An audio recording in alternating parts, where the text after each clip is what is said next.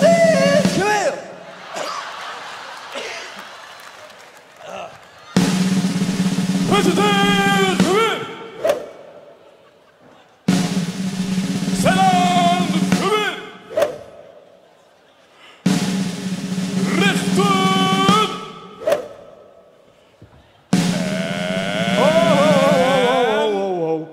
Kunnen niet hier in Kerkrade het publiek bedreigen. Belachelijk zeg. Zo'n vriendelijk publiek. Dan weet ik wel wat anders.